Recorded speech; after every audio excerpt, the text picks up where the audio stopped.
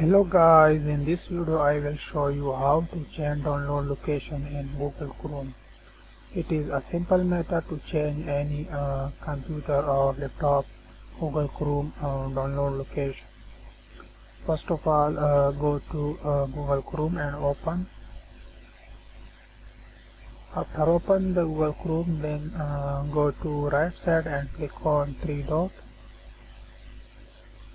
and now uh, click on settings. And go to uh, left side and click on downloads. This is our first method to uh, show download location. And second method uh, search settings. And search uh, download. And scroll down and now this is my location.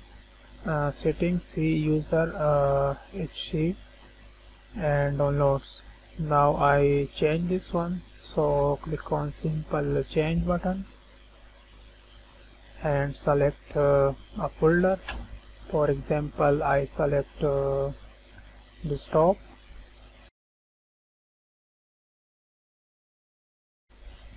now you can see my Google Chrome download location is changing. You can see how I change Google Chrome download location in easily like share and subscribe my channel. Thanks for watching